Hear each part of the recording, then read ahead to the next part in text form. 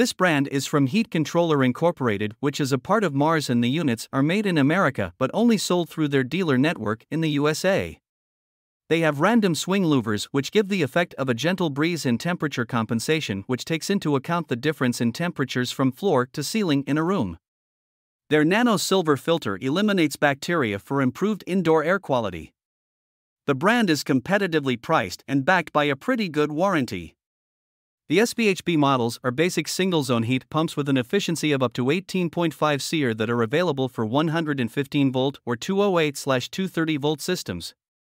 The VMH Ultra V Series models are premium heat pump units with a follow me temperature sensing remote and a low ambient kit for cooling operation down to 5F. They are designed to provide heating as well as cooling in areas where the outdoor temperature gets as low as 0F. They are available for single zone as well as up to 5 indoor units for a single outdoor unit, but the outdoor units are rather loud when compared to some of the other brands.